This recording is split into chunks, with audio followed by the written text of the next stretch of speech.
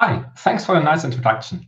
Yes, my name is David Piper, and today I'm going to talk about how we can analyze and visualize the structure of a Swift app. But before we get started, let me just highlight my. So let me introduce myself. Um, my name is David Piper. I'm an iOS developer at Adesso Mobile Solutions here in Germany. And in my free time, I like to play around with new frameworks and explore new techniques and write about them in my blog. Also, I'm studying computer science, where I'm going to finish my master degree in about two to three months. And when I'm not programming, I like to play card and board games with friends. So let's dive into the topic. Swift projects, mainly iOS apps, were previously often quite small apps, which consisted only of a handful of features. Today, they are often large projects where multiple developers work on for many years, which consists of hundreds of source files and maybe thousands of code entities. So classes, structs, protocols, and so on. Um, but not only the project size grew, also the team size is increasing, introducing more complexity to the development process. Because each developer may have a little bit different style of coding, the architecture may differ between different parts of the app. Maybe we are using architectural patterns like Viper or MVVM to reduce the complexity, but it's also quite hard to see whether these patterns are implemented correctly throughout the whole app. So on the one hand, it's very hard and complex to analyze the structure and the architecture of an app. But on the other hand, it's also very important to do so to increase the quality and reduce the costs. There was a published, uh, um, yeah, a, pub a study published in 2005 by a group of developers which evaluated over 700 architectural reviews between 1988 and 2005. And they found that for projects of approximately 100,000 lines of code, they could save 1 million US dollar by finding bugs early in the development stage where they were quite easy to fix. But we are talking about full blown architectural reviews here, which are very time and resource consuming. And it would be great if we could just automate the analysis and use an app to visualize the results. And that's what we are going to talk about today.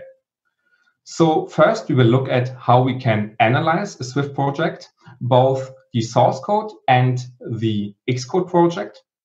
Next, we will look at how we can visualize the results of the analysis. And finally, we will add some features to make the visualization and the architecture more explorable. Let's get started with the analysis. So when we talk about dependencies, we talk about connections between code entities. And there are different types of dependencies. The first one is evolutional dependencies. Uh, in this case, for example, two classes were changed quite frequently in the same commits so we can assume that they are working together.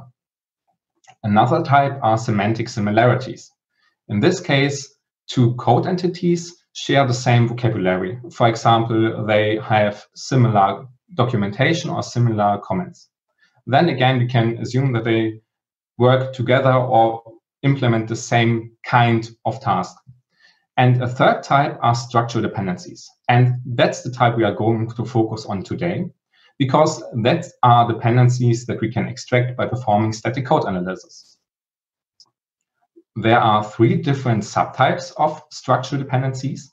The first being inheritance. So for example, one class is a subclass of another class, or some struct or class implements a protocol. Next, we have usage. For example, when a code entity is used as a parameter in a method or as a return type, or as a local variable. The third type is aggregation, meaning that, for example, a class has a property whose type is another code entity. And for the type usage, there are five additional subtypes. Um, local variable, method parameter, and method call uh, can be found in method declarations. And then we have also generic parameter and typecasting, for example, with as expressions. So how can we find the code entities and the dependencies between them in our Swift code? Well, let's look at a short example. Here we have a class called class A, which is a subclass of class B. It has a property and a method declaration. So first we can find a dependency of type inheritance from class A to class B. In the next line, we can find a dependency of type aggregation from class A to type int. Next, we have the method parameter, which introduces a dependency from class A to type string, or to be more precise, to type optional string. Then we can find a typecast, again introducing a dependency from class A to string. In the next line, we have first a local variable, next generic parameters, and finally a method call. So now that we know what to look for, how can we extract these information from our source code? We have multiple options to do so, one of them being SwiftSyntax. That's a framework provided by Apple to parse and inspect Swift source code. We start by getting the URL to a source file. We pass this URL to the so-called syntax tree parser, which will create a syntax tree representing the content of this source file. Next, we can use the syntax visitor that walks over the tree and inspects the nodes. But how does such a syntax visitor work?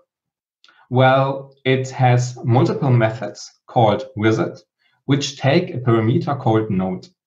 And this node has different types depending on which node is currently visited. For example, a class declaration syntax node or a protocol declaration syntax node.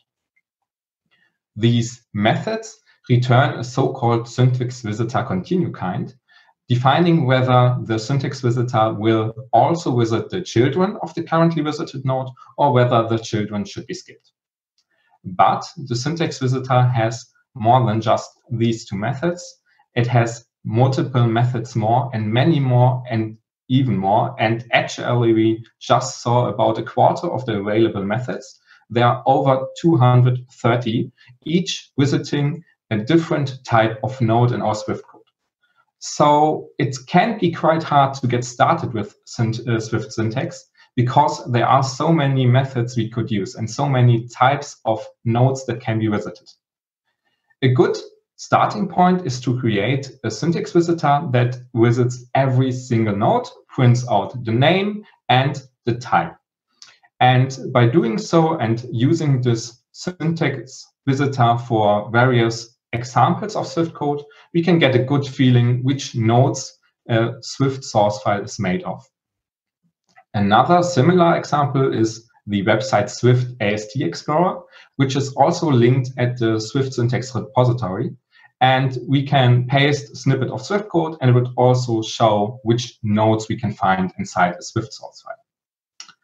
So when we use this visitor on, for example, a class declaration, which we can see here, we have class A, that's a subclass of class B, and it also has a generic parameter we can split up this declaration and look at which nodes this class declaration is made of.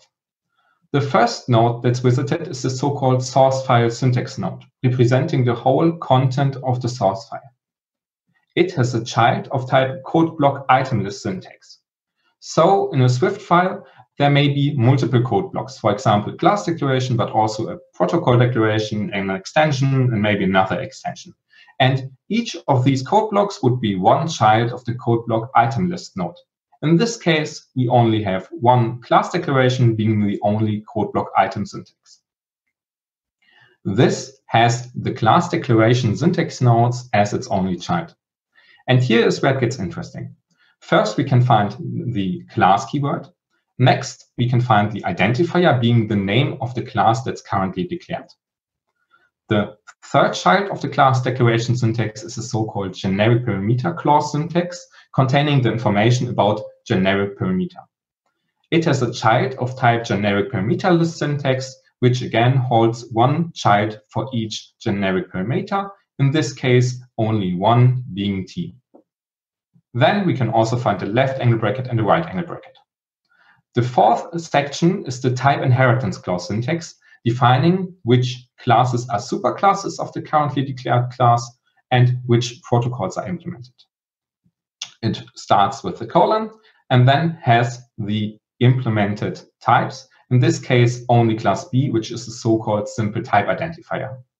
Finally, we have the so-called member declaration block syntax, which holds the rest of the class declaration. So this simple class declaration node is made of multiple different nodes. And to extract the code entities and dependencies between them, only these information are relevant. We need to know that the currently declared class is called class A, and it has a dependency to an entity called class B of type inheritance. And by visiting different types of code snippets, we can extract all the information we need. For example, we could handle protocol declarations or struct declarations in a quite similar way. And we could also inspect more difficult examples like um, a recursive enum declaration, which has raw values or a method declaration. But we need more information than just uh, what we can extract from the source code. We also need to look at the Xcode project file. In such an Xcode project file, we can find a so-called PBX native target section, which in this example is called app. It has a list of build phases, in this case only one being the source build phase, defining which files are compiled when this target is built. We can also find the PBX sources build phase, where we can find the previously declared sources build phase. This build phase has a list of files that are the files that are compiled. These files can be found in the PBX build file section, where we can find a file ref to the actual file. In this case, there's only one file in the sources build phase called file.swift. Given the file ref for, the, for this file, we can look in the PBX group section to see what group the file is part of. In this case, it's contained in the child group, which itself is part of the main group. And by following this pattern, we can start in the um, target section look at the source build section, finally find the files that we need to look at, and can extract the information which groups they are contained in.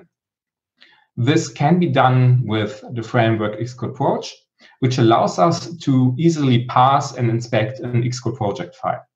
We can create a so-called XcodeProj object given the file path to the Xcode project file. And then we can um, access the targets with a given name, extract the source build phases, and finally get the files. Then we can map over these files and get to the groups they are contained in. So now we know which code entities are part of the Xcode project. We know which dependencies exist between these code entities, and we know how they are structured in groups and maybe modules. So let's take a step further and look at how we can visualize these results. We have multiple requirements to show the visualization. The first, we want to create a so-called node link diagram where the nodes represent the code entities and the links represent dependencies between them. Next, we want to use container nodes like groups and source files to encapsulate the code entities. Because when we show all entities at once, it get it gets quite crowded because, as I said in the beginning, there may be thousands of entities in one project. There is this project called Objective-C and Swift Dependency Visualizer, which shows all entities at once. And here I analyzed a quite small project, but it's already very crowded and hard to get the information we are looking for. So we want to use these container nodes to get a better overview. Next, we don't want to place our entities randomly. We want to let the dependencies define the position of the nodes in such a way that all the dependencies point down to the bottom, if possible. Of course, we may have cyclic dependencies, then that's not always the case. Um, that's because when we look at these two graphs, we can see that the right one is uh, far easier to understand than the left one, although they consist of the same nodes and edges. In this case, of course, it's quite simple. We could understand the left one um, as well. But imagine there are maybe 10, 15, or 20 groups in one group. And so we have, when we open this group, 20 different nodes. And when they are placed randomly, it's quite hard to get the structure. Okay, how can we do this? Well, we would want to look at this short example. We have one group called UI that consists of one source file viewcontroller.swift. Inside of this viewcontroller.swift, we can find three different code entities. The first called viewcontroller, it has a dependency to, a service protocol to implement some tasks. So there is a dependency of type usage or aggregation. And then we have the service implementation implementing the service protocol. So there is a dependency from service implementation to service protocol of type inheritance. Of course, there may be multiple groups inside of one group, or the group UI may be itself part of another group. But in short example, UI is the topmost uh, node, the topmost group, and it only holds this one source file. So we start by creating container nodes for the group and the source file. And then we want to arrange them in a way that um, we have a, a hierarchical layering. So the topmost node is the UI group node. When we open it, for example, by double clicking it, we want to see the nodes it contains, in this case being the view controller.swift node. When we open this node, we want to see the code entities. So each node needs to know which nodes to show when it's opened and which nodes to hide when it's closed. So the UI node needs to know that the view controller.swift node is the node of the next hierarchical layer. And the view controller.swift node needs to know that view controller, service protocol, and service implementation need to be shown when it's opened. So once we have this structure, we can continue by calculating the position of the nodes in one hierarchical layer. We want to place them in a way that the dependencies all point down. To do so, we want to place service implementation and view controller in the topmost level and the service protocol in a lower level in this example. We can do so by assigning x and y coordinates to each node for example, by um, creating a lexicographical sorting in one layer so that the service implementation has a lower x coordinate than the view controller node. Of course, there are more sophisticated methods, for example, the Sugiyama algorithm, which minimizes the angle between nodes over multiple layers. But this is far more complicated, takes more time, and with lexicographical sorting, it's more easy to find a node in a layer that we are looking for. Y coordinate is the length of the longest path to a source node. A source node is a node that has no incoming connections. So in this example, service implementation and view controller. We start by placing these nodes in the topmost layer. Then we place all other nodes below. In this example, we have service protocol, which has two incoming connections both starting in source nodes. So both paths have a long length of one, and so service protocol is placed in layer one. And by following these rules, we can place as many nodes as we need to. Okay, so now that we have calculated the hierarchical structure and the positioning, let's look at how a visualization could look like. First, we have a node UI, the topmost group node. When we open it, for example, by double clicking, it shows its inner nodes being the view controller.swift node, which can be opened again to show the code entities. So we wanted to have a node link diagram, and we wanted to use container nodes to create a hierarchical structure. Finally, we also calculated a good positioning so that the dependencies all give a, a clear structure. Okay, great. Now that we have finished our visualization, let's look at some more features we can add to make the architecture more explorable. To do so, let's look at a short demo.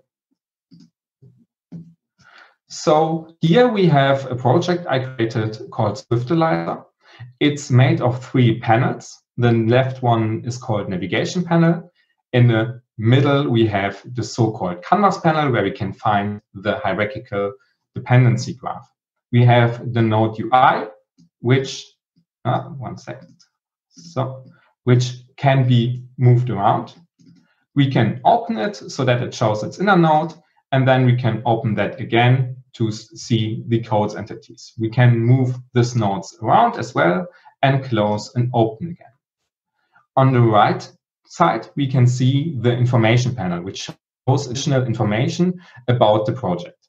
For example, if we select a container node like a group or a source file, we can see how many groups, entities, and source files are contained in this container node. When we select a code entity node, we can see some metrics, for example, the number of incoming and outgoing edges. In this case, view controller has zero incoming edges and one outgoing edges.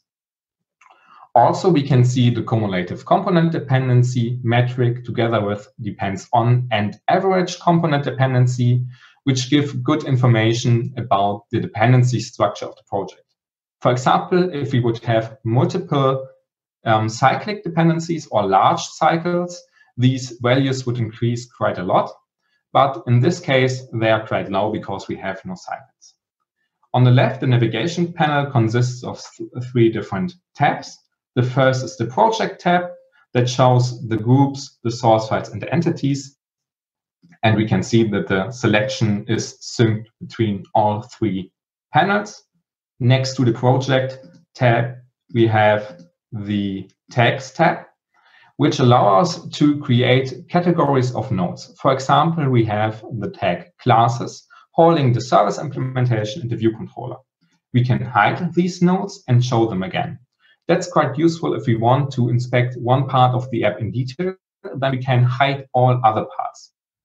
But we don't need to use the exact names. For example, we can also use regular expressions like in the service tag which holds all nodes which have service in the name. And by hiding them, we only see the view controller. So for example, if we want to focus on the business logic or services, then we can hide all other nodes that don't contain the name service, for example. Finally, we have a history tag. Every time we move a node, we close a node, or we open a node, or tags are changed, one item in the history is recorded. And then we can just go back and forth again. That's very useful if we want to inspect one part in detail. Maybe we hide all other nodes and we open all nodes until we find the part we want to inspect. Then we can just step out again once we are finished by going back. Okay. Um, yeah, so to wrap it all up, first we looked at how we can analyze a Swift project by using SwiftSyntax to explore the source files and by using the framework XcodeProj to get information about the Xcode project structure. Next, we looked at how we can visualize the dependencies and we looked at how to create a hierarchical layering and how to calculate the positions. Finally, we looked at additional features, for example, um, tags, history, and metrics to make the structure of a project more explorable. Thank you very much. If you have questions now, you can ask me right now or in the extended Q&A. And you can find me on Twitter and ask me questions there. Thank you very much. I hope you learned something.